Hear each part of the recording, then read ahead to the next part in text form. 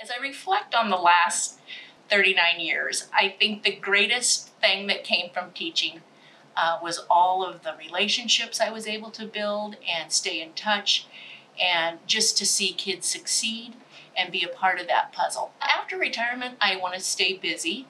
I would like to travel to see my grandkids and my sister in Loveland, Colorado, and just take some adventures that I haven't had time for.